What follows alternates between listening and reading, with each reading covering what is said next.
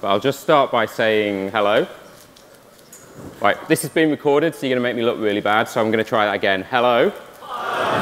Much better.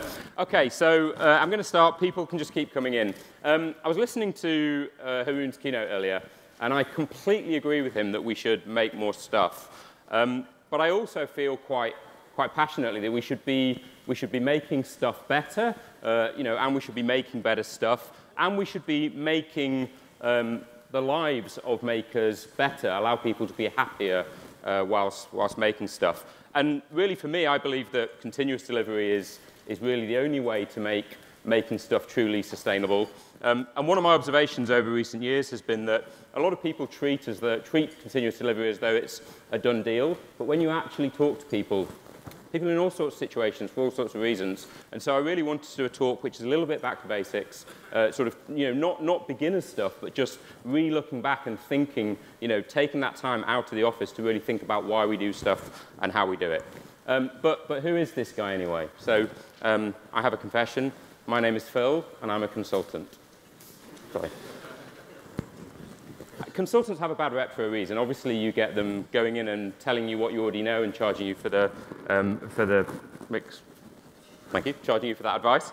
Um, but I'm actually, I, I, I, love the job. I'm quite proud of what we do. And I feel like I'm really, really privileged at the amount of different places um, that I've been able to see uh, as a consultant. And, you know, how many people just want to make great stuff and want to improve uh, what they're doing. But, but there are challenges to doing that. Um, I've seen the good, the bad, and the ugly, and I am going to be talking about a couple of tales uh, that, I've, that I've witnessed uh, throughout this talk. Uh, I will warn you that names have been changed to protect the guilty, so we'll, we'll, we'll deal with that. Um, but one thing that I sort of think that some consultants and some conference talks have in common is this.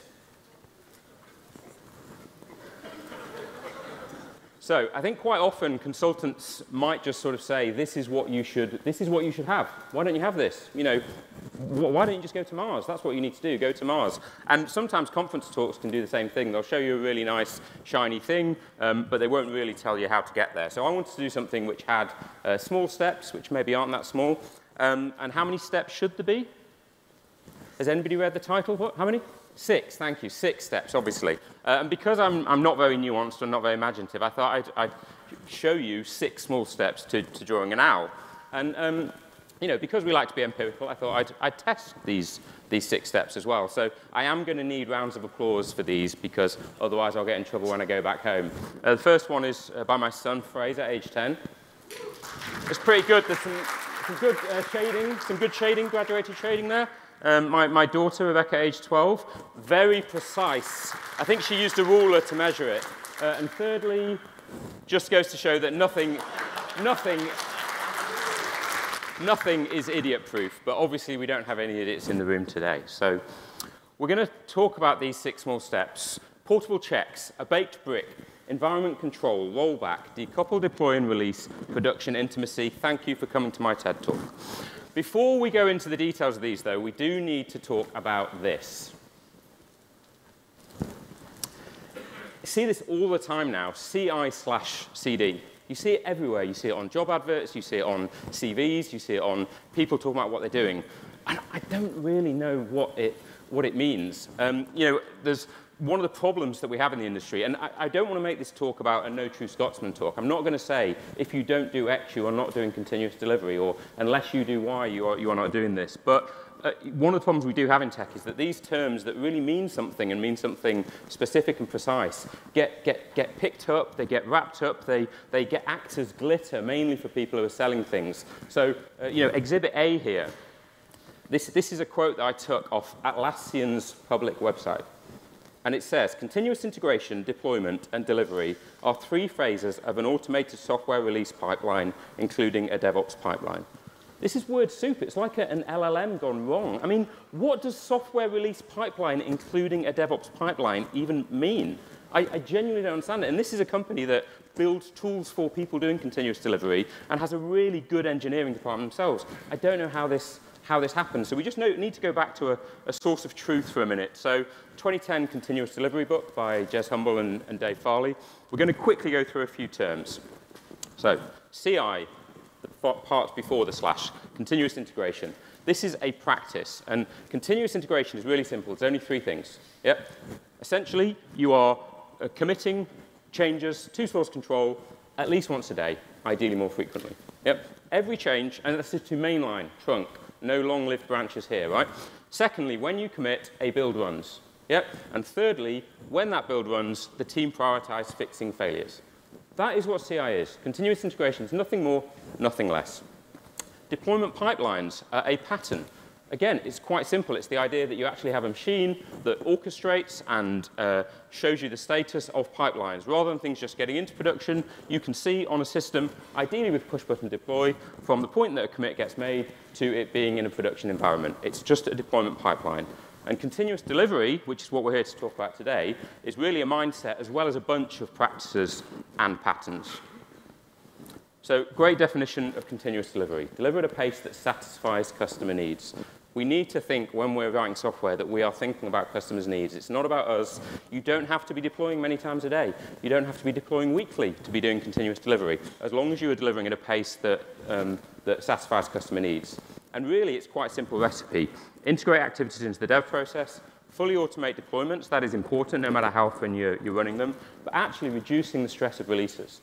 So most people here will have been involved. Show me if you've been involved in a big bang launch, many people, many months or even years of work leading up to a big launch. How many people have done that? Okay, anybody that didn't raise your hands, make sure you talk today to the people who did, because it's not the place that you want to be. I mean, it's quite nice, you know, it's quite sort of exhilarating being involved in that firefight. It's always good for the ego to be the hero, yeah, but it's not sustainable, so it's not what we want to be doing. So I'm going to start with portable checks, but just before I talk about this, I've got a story. Got a story for you. Um, so this was a project which we arrived on. It was a household name, at least in the UK, um, and we turned up a bit of a rescue project. So they'd had a bad consultant previously who had delivered a massive platform which was causing them all sorts of problems. I won't go into all the horrors of that, but um, we, we went in, and one of the first things we often do is let's say, can we, can we build can we build the software? So I managed to get, get the source code out of version control. They were using version control, check. Um, I could not get it to build. Started talking to some of the developers, and everyone was giving me hush whispers. You need to speak to James. You need to speak to James. So I went around, and eventually I found the mythical James. Um, and I said to him, can you help me building this software? And he said, you need the dependencies. And he opened his desk drawer, and I shit you not, he handed me a USB stick. That is not, that is not what we mean by portable. I need another quick show of hands. How many people here started their professional software development this decade? So since 2020, in the last three and a half years. Just raise your hands if you started quite cool. Okay, how many people in the last decade between 10, 2010 and 2020? Okay, cool. How many in the, the noughties in 2000s? That includes me. And have we got anybody that started coding professionally in the last millennium? Thank you for your service, soldiers. Um, this picture is from the Daimler Chrysler project in uh, 1996-97, um, and it comes from Kent Beck's book, um, uh, Extreme Programming Explained, XP Explained, um, and it's one of the first agile environments, really. Before agile term was coined, you can see uh, the boards in the background where they would have cards. You can see some people pairing, right? It's, it, it's all good. Um, this talk's not about Agile or, or, XP specifically, but I want to just read out a little bit um, the, the, of that book and experience. What this, and I'm not going to read it all, but I'm going to get to the important part. They said after a while, we look at the to-do card, and the only item on it is restructuring the other test cases. Things have gone smoothly, so we go ahead and restructure them, making sure they run when we finish. Now, the to-do list is empty. We notice that the integration machine is free. I'm going to stop here. They didn't say we went and checked the status page to see whether there were any builds running on the CI server. They said that we noticed the integration machine is free because it's there at the back of the room. So those people who were coding in the 90s will know that like people, teams then, the first integration servers were people walking up and standing in a queue to load things onto the integration machine to make sure that it was working with everyone else's. So there was a real flow there. And what you could do before you did that, the more that you could do, the less likely you were going to go and have uh, an integration failure uh, and cause problems for yourself and everyone else. So think about this when we talk about portable checks. Uh, the way I always phrase it, we always say, can you, in your local build environment, can you work on the train? Can you make a code change, assuming you've got the code, can you make a ch code change, verify it, and be relatively confident that it's going to work before you have to go and integrate? And there's a few things that you can think about here. One is manage runtime dependencies, and this is all about uh, maintaining flow state. So you want to be able to make your changes in a way that doesn't impact anyone else making their changes. It doesn't interrupt their flow state, yeah? It doesn't give them integration failures. And you want to be able to do it without relying on others. So if you cannot commit before you've run something against a service which has mutable data uh, and special accounts which are going to get out of sync because someone else ran something before you, you know, or if you, you know, require a dev service and they're making changes at the same time. Things like that means that you don't have the confidence to work quickly and you don't have confidence that when you go to integration it's going to work. And interrupting that flow state is a, is a really sort of sad place to be in terms of working. Shifting quality left essentially, we talked in, in the continuous delivery slide about integrating activities into your dev processes. One of the things that this means is write tests and learn how to write better tests. Yeah? You, you, you will not get a better practice um, for, you know, for your, uh, your, your state of mind, uh, your mental health, than writing good tests and, and using them and getting better at doing that. But the reason this is checks, not tests, is it's not just about tests. Your, your compiler is a check. Uh, using linters is a check. You know, you can have uh, simulators, you can have diff programs, anything that you can run locally that reduces failures. So one of the practices you should have is if you ever get failures on continuous integration, you should say, what can we do locally that would have prevented that failure? Getting that feedback loop of improvement is what you really want to do. Shift the quality left, do things earlier. And whenever we do tests, prioritize on things that are fast running. Again, it's maintaining flow state. Whenever we talk about fast, um, fast tests, I always think of Corey Haines. He, he wrote about four second test runs back in, in 2014. It's still worth going and reading it. There'll be lots more state of the art now. Um, but, but I love this. When he said, when people ask me how fast their test suite should be, my general answer is faster. So nobody needs to ask that question at the end now. Okay, so step two. I'm slightly embarrassed by this one.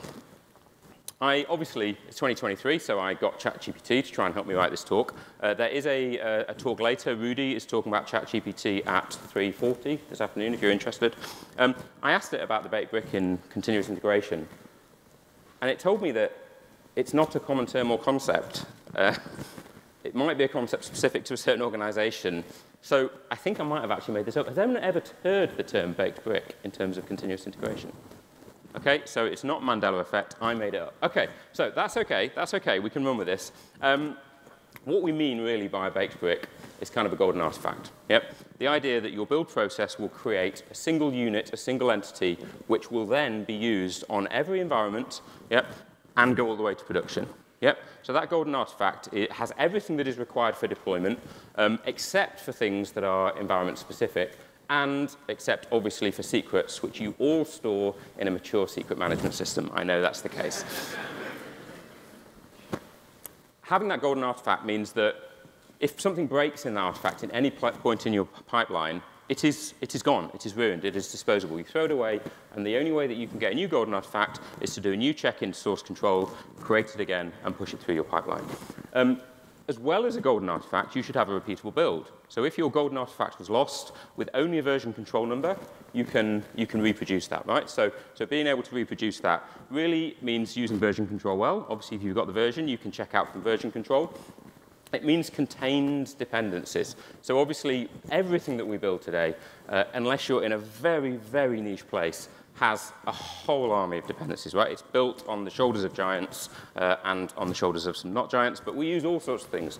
Um, and you know, this sort of practice, if anybody knows what this is, wildcard dependencies, this is a nightmare because what this means is it means the second time that you run the build, if any of those dependencies have been updated in, in, in the repository, you'll end up with a different version of the dependencies that you're running. That could cause, like, it could cause compile time breaks, it could cause runtime breaks, it could cause things that you don't discover, uh, you know, for, for years down the line. So, you know, no wildcard dependencies. You've got to manage the dependencies that you've got so that your, your baked brick is, is consistent and your repeatable build is con consistent. Um, and finally, a, a, clean, clean build environment. So this is made much, much easier these days, obviously with containerization. Um, but I've had so many situations in the past where a build server has, you know, somebody's hacked a build server to have local state, or you've got caches on a build server or something. You know, some way that state leaks from one build uh, to a later build. Uh, and that compromises your repeatable build, and it compromises your concept of a baked brick. So environment control. I have another eye-watering tale.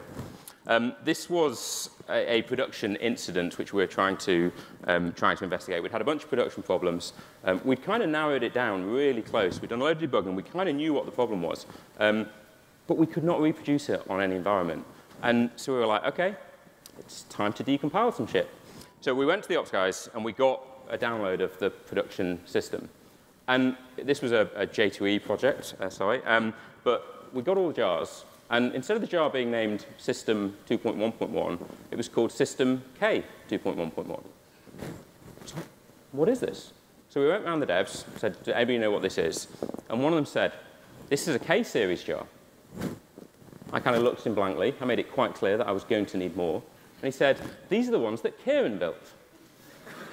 so despite the fact that we had source control, we had builds, we had some elements of the deployment pipeline, somebody had somehow fixed something on their local machine, built it, got it onto a production service, completely uncontrolled. So what I mean by environment control is two things. I mean, control the environments you have, and secondly, control the environments you have. And I know what you're thinking, Phil's short-circuited again, but really these are two separate things. One is to control which environments you have. How many people have been in or are in situations where you start off with saying, we've got dev, we've got test, we've got UAT, and we've got production. And then you end up with test one and test two. And then you get UAT and UAT2. And then we need a staging and a pre-production and a post-production, right? Yeah, I know, I feel your pain. Um, the, the cause of this is really end-to-end testing. So this is uh, my colleague Steve Smith, who wrote about this a, a long time ago. JB Rainsberg has actually updated his blog post just a few weeks ago on his original thing about integrated tests. And he says, I, I, I, he, he feels like he, uh, his tone was not good, um, but he agrees with what, what he said. And th these are the things that are really worth looking at. The idea that you can end-to-end -end test complex systems kills any concept of continuous delivery. So you cannot have these big production environments, uh, uh, production, uh, you cannot have these big kind of environments where you're trying to integrate lots of different people uh, and, and they cannot be long-lived. So when I said control the environments that you have, I mean the actual environments that you have, how do you run those and how do you make sure that they don't turn in to these big kind of kept environments? And the first is to make them specific and disposable. So if you need to do a round of UAT testing, create an environment and when the round of UAT testing is gone, kill the environment, throw it away, use it for a single purpose. Uh, you know, if you want to integrate with a partner, put up an environment, let them do some testing, and throw it away. That idea of creating, making environments disposable uh, prevents you from getting these things that you look after long term. Um, infrastructure as code, automation is, is brilliant. There's a, there's a talk this afternoon. I need to remind myself who's doing it. Um, Gabrielle's got a talk at the end of the day talking about how Kubernetes made their staging environment disappear. So, you know, the availability of this sort of tooling now makes it so much easier. Uh, you can just say, give me, give me an environment. So as soon as you've done uh, a build step, you can automate it and ideally make it self-serve.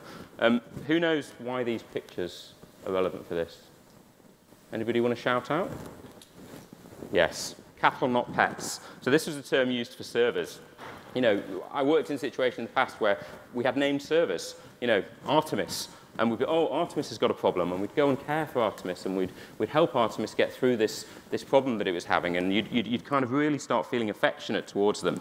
Um, but obviously, the idea of, of infrastructure now is that you, you don't have pets, you have cattle, right? You know, you just you, you get new things to the, to the herd when you need them, and you shrink the herd when you, uh, when, when you don't need them. And the same applies to environments if you're doing it right. It's not just to servers within an environment, but to environments themselves. You know, one day you might have 15 environments, on another day you might have zero. Your herd of environments should grow and shrink as you need them to. Okay, so we're going to talk about rollback. A quick show of hands if you've heard of Dora. Okay, not too many. Okay, cool. So Dora is DevOps research and assessment. As I said, uh, it was founded by uh, Nicole Forsgren, Jez Humble, and Gene Kim, who also wrote the Accelerate book. Brilliant book. Um, it's most well known for the Dora metrics. So I'm going to quickly talk through the Dora metrics. These are really good things to be conscious of in your organization. Um, so first of all, we've got lead time. And lead time is the time it takes from you committing a piece of code to that code being put into production and actually used by, by real users. Uh, the second one is deploy frequency. How often is that process going from uh, commit to a production launch happening? Um, you've got the time to restore. So if you have a problem in production, how long does it take you to get it back? You might see this called MTTR, mean time to recovery. Uh, and finally, change fail percentage. How many of those individual things fail? The great thing about Dora Metrics is that it comes from the State of DevOps report. Uh, so it's a big piece of research where they've asked lots and lots of teams around the world where they stand on each of those four measures. So you can measure them, you can go and look at the State of DevOps report, and you can get an idea of where you sit compared to the rest of the industry. Uh, and this has shifted massively, you know, over the, over the last sort of five or 10 years in terms of where the industry are. There are a lot of people working at this really high. They used to have elite as well, but, you know, you know multiple, multiple releases a day. Uh, but actually, it's a long tail. There's a lot of people working in different places, but it's nice to know where you sit in the industry when we talk about rollbacks, one of the problems is that lead time and deployment frequency really is about getting new stuff. Right? That's how often you're getting stuff to users. And change fail percentage and time to restore are about that stuff being available. What happens in a lot of organizations is that if there are problems, everybody looks at the change fail percentage. So everybody says, how can you stop having problems in production? Yep. But the problem is that normally means that you increase validation, you maybe increase gates, you add extra tests, extra approval steps. And actually, that means that you don't get new stuff. You'll see that your lead time will grow, you know, your deployment frequency will shrink. Uh, it's the wrong thing to focus on. But rollback is a, a time to restore mechanism, right? Obviously, there's time to restore in terms of defects as well, but we're focusing on rollback here. If you can release and, and, and demonstrate that you can roll back instantly with no effect, then you get much higher confidence, which means you're allowed to deploy even more frequently. And the more frequently that you deploy, the, the smaller the lead time is, the smaller the things that you release are, and the less likely you are to have problems. So there's a real virtuous cycle of focusing on time to restore over focusing on reducing the change fail percentage. Happy people. So four things that you can do in rollback. The first one is to limit scope. Yep, it's not rollback specific, but you know, if you've got a modular architecture, uh, the observant around you will notice I'm going to talk about separating deploy from release in a minute. But if you limit that scope, modular architecture, then the amount of things that you have to roll back is smaller. The likelihood of need to roll back is smaller. So we'll say microservices, but it doesn't have to be microservices. But having something where you don't have to release everything as once makes sense. Um, be really conscious of databases, you know, especially schema-based databases. Ideally apply deltas, use tools to apply those deltas, and think about expand and contract. So expand and contract is an architectural style where you add new things uh, in, in live before you remove things that aren't needed, so it makes you more resilient uh, to having to roll back uh, changes any other state that you have. Uh, I've seen many things, many rollbacks fail because of other states, file stores and things. You know, we can talk about backing up you know, if you have not restored your backup, you do not have a backup. That is the golden rule of, uh, of backup.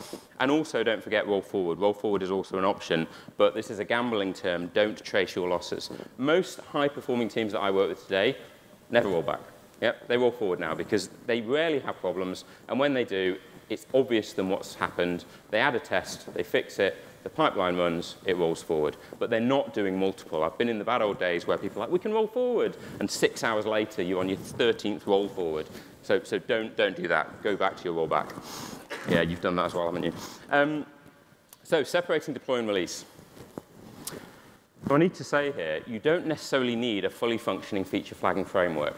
Easy for you to say. Um, that's the thing we normally talk about with this. We talk about feature flagging. But I'm going to break it down in a few different ways, because sometimes when you do have a fully functioning feature flagging framework, it doesn't actually do what you need it to do anyway. Yep. So I'm going to break it down in these three different ways. And the first is cohort selection. Yep. So normally, this is what we mean by separating deploy and release. A really basic feature flag has two states. Yep. Either it's down and off. Really proud of that slide. Um, it's down and off, which means zero cohort gets it, or it's up and on, in which case 100% of the cohort gets it. Now that's good, right? It's better than not having anything at all. Because obviously, if you don't have any feature flagging at all, you do your deployment, and at that point, users suffer the consequences.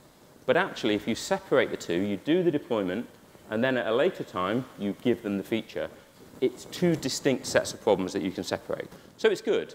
But obviously, you can go further. You know, you can use different amounts of different percentages of cohort. So you can have ramp ups. Uh, you can choose particular cohorts that you want to do it. You can do the classic thing where you just say, if it's got this particular query string parameter, assuming it's not a secure feature, then you know our friends and family can use it and, and try it and do what they want to. There's lots of different ways you can use the cohort selection. Um, one of the other things you can do is, is roll out um, roll out code doing canary testing. So roll out to different parts of the infrastructure in order to hit different cohorts. And I'm going to plug another talk, actually, um, because Bongani is talking about canary tests later, although it's at the same time as Rudy. So it's this afternoon, you'll have to choose between them. Unless, of course, you're watching this on the video, in which case, why not both? Um, the problem with doing infrastructure rollouts for, for cohort um, is, is, I'll explain in a minute, but basically I would try and separate them. So try and say, do an infrastructure rollout, but with the cohort selection off, and then do a cohort, cohort rollout. Um, and I'm going to explain this through a concept of dry runs. So dry run basically means you've released something into production. Uh, it is being evaluated, but it isn't actually affecting user behavior. And this is uh, an incident that happened in 2019. So most people are probably aware of Cloudflare. Um, Cloudflare runs half the internet, certainly in 2019. It was huge. Um, they had an, an, incident where they'd released a new um, matching piece of code, which was basically to select requests. So it was looking at a request, it was running a regular expression. You might know what's coming next. It was running a regular expression to say, should we select this? They rolled it out, and immediately the regular expression consumed all of the CPU on all of their machines worldwide. They lost 80% of things worldwide for half an hour. Half an hour, good mean time to recovery there, but losing 80% of half the internet for half an hour is not great. Um, I'm not giving Cloudflare a hard time here because actually they're brilliant. They've, they did a great blameless postmortem. They've published it really widely. That, those are things that you should do. But in that case, if they'd have first done, even though it was dry run, if they'd have first rolled it out to partial infrastructure, this wouldn't have happened. They would have seen that that particular infrastructure is spiking and they would have been fine.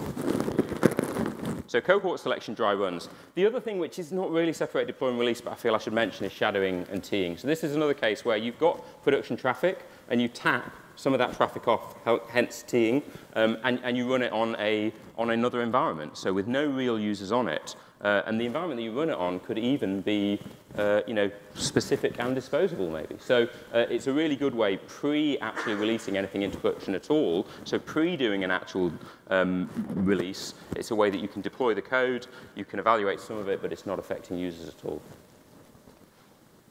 Okay, we've been together for a while now, so we can talk about intimacy uh, between you and your, your production environment. I think when we're talking about this, it's impossible not to talk about observability. Sorry, I didn't even give you a trigger warning for that. Um, you can't talk about it without talking about observability. So obviously, observability is a, a term du jour, but it's a real example of what I talked about at the beginning, people have taken a term that means something really specific and retrofitted it to lots of past tech. Um, you can't talk about observability without talking about Honeycomb.io and Charity Majors. I strongly suggest you go and read. She's a prolific writer and presenter on observability stuff, and she knows the truth, um, and it's really worth looking at some of her stuff. Um, one of her big bugbears is uh, the amount of organizations that talk about logs, metrics, and traces being the three pillars of observability. Uh, it's mainly companies that provide software that supplies logs, metrics, and traces, surprise, surprise. It's not. It's always been there. That's not observability, but it's a good place to be, right? You know, you need to really know what's going on in your production environment. So logs, metrics, and traces are great, but if you have to get a form signed in blood, in triplicate, in order to get access to logs, then you do not know how your software is running in production. So you've got to work towards being much closer to how those things run because you've really got to care for your users. You know, I'm a big fan of continuous delivery stretching all the way into, into a production environment. And the very, very best way you can really know what's going on in production and really care for your users is to run the services that you build. So you build it, you run it is a term that's been around for a few years. Um, we've got teams doing this in governments, you know, in large organizations, massive e-commerce, and those are the happiest teams that I've ever seen. You know, there's sometimes this myth that developers don't want to be involved with support.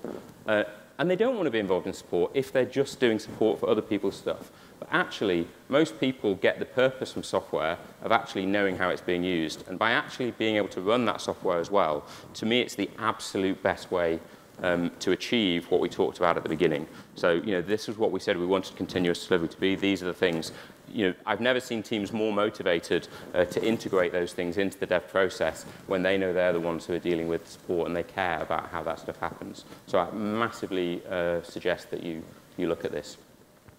Before we wrap up, um, Robert mentioned feedback before. Um, the conference, as he said, is for you. So the only way the conference can get better uh, is, is if, you, if you rate people. Uh, obviously, we want to know the good and the bad. Uh, and I, for one, definitely wouldn't try and influence you in any way as to the feedback that you give when you go to this form. But just finally, I'm just going to wrap up. So the six steps that we've talked about offer to shift quality left, think of all the checks that might increase your confidence and keep them fast. Have reproducible builds and use the same golden artifact in all environments. Avoid end-to-end -end testing and automate everything to have environments that are specific and disposable. Optimize for reducing time to recovery over eliminating change failures. Limit the scope of releases and gradually introduce changes to, co to cohorts of users and to infrastructure.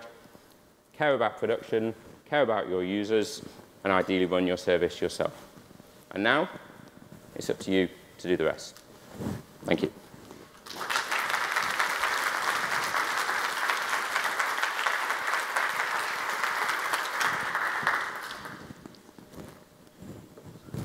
I think we've actually got time for questions, which is a miracle. Hey, uh, at the start of the talk, you briefly mentioned mainline. And so what, what's your opinion on uh, branching strategies and how that plays into continuous deployment? I'm old-fashioned on this, so I don't know. I, I, have seen, I've seen people do Gitflow and stuff well. Um, I think you can. I still think I've seen more people doing it badly. So I, I think uh, branching is fine. Um, but I think short-lived branches. I think you, you shouldn't need long-lived branches unless your architecture isn't modular enough. You know, you should create separation by uh, working quickly with, um, with high cohesion on single modules of architecture rather than necessarily having um, kind of a, you know, a massive sprawling thing. To be fair, I haven't worked on a really high-functioning, um, like, monolithic source base. Um, I know that people do it. I, have not done that. Um, so maybe in that flow it's different. You know, if you're, if you're working at Facebook, on Facebook's monolith, maybe it's great or maybe it isn't. But I'd love to hear from that if anybody's, if anybody's worked on one. Is there ever a sensible trade-off for ergonomics versus local reproducibility? So let's let's take a recent example. A lot of uh, serverless solutions you can't really recreate locally. You can't you can't code on the train. We're we're seeing more and more and more of this come out, but when what's a rule of thumb for when it's justified to trade ergonomics off for not being able to to run your software on a train? I'm going to answer two questions there. The first is, is there a trade-off? And the answer is always yes, there's a trade-off. That's what we do as a job is we manage trade-offs. So that definitely is the case. The example you've given is brilliant, actually, and, and I completely agree. The, the, the can you work on a train, um, we've updated it, right? You know, it, it used to be, can you do it without connection? But really, it's about that integration thing. So with serverless, for example, um, Not had great success with some of the libraries for running serverless stacks locally, and it's not the same, even when you do that, as what you're really running uh, on, on a cloud provider, so I don't recommend it. And I think that's absolutely fine. You are still on a train, just one that happens to have a good connection to the internet, right? Um, but the point is, is that you, what you don't do is have a single serverless stack that lots of different teams are trying to run against and integrate with, because otherwise then you have coupled state uh, and you, you create integration failures for each other. So that's a great example where you use infrastructure as code to spin up your serverless stack, run your tests from your local machine, and that specific uh, and, um, and disposable stacks with serverless, often it means you have a stack per developer um, when, you're, when you're working on, on local development. So, thank you. Brilliant. Really good down here. So you really emphasized on um, having a feature toggle. So you really emphasize on having like a feature toggle on a live uh, environment, right? So my concerns are around a project size getting huge. We have like um, the project will take a hit on performance because now you're doing more checks. And I want to know at what point do you draw the line and say, okay, I'm going to remove all of those stuff that are slowing my project down because I don't need this switches anymore. You know.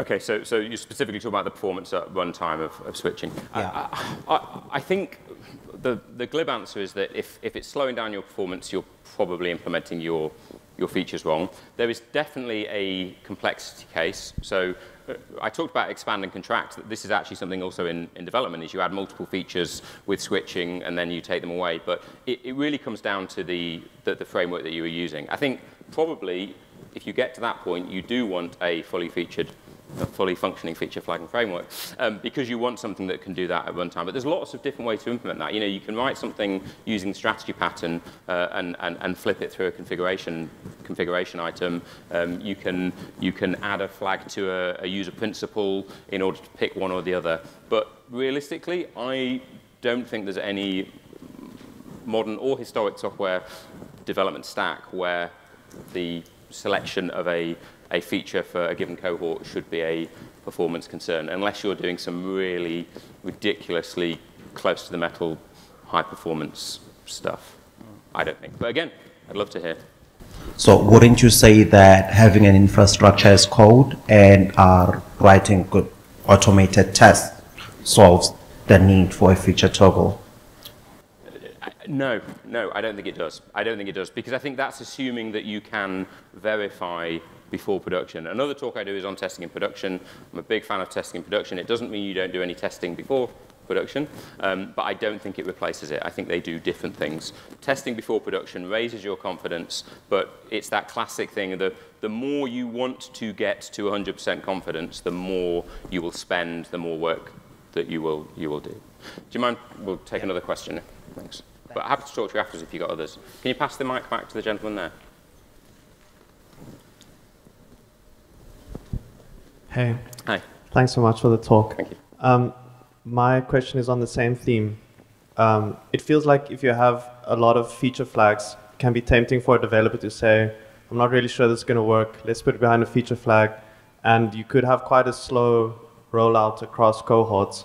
And in the end, you get this multi-dimensional problem where you could have 10 feature flags, 10 cohorts. That gives me a lot of different permutations for what code is actually running. So can you say something about managing that problem? Yeah, agreed. It's, it's, the, it's the same wider class problem as the over-configurable anti-pattern, right? Which is that people say, oh, well, can we make this configurable? We don't know what we're going to want next, and you end up with uh, um, combinatorial logic, which means that you just end up with a huge variance. And that's definitely true with feature flags as well. So obviously, I was kind of on, on one side of it in this talk around how you should use feature, feature flags to get this, but I think team management is another. I think working closely with product, planning your, your feature, depending whatever your definition of product is, planning your, your feature flags. And I, I definitely erred this on the side of, well, put the feature flag in there, roll it out really slowly. But again, really high performing teams can, with high confidence, get, do a cohort rollout over an hour right? You know, if you've got the really high confidence that we're going to get the signals if something's wrong,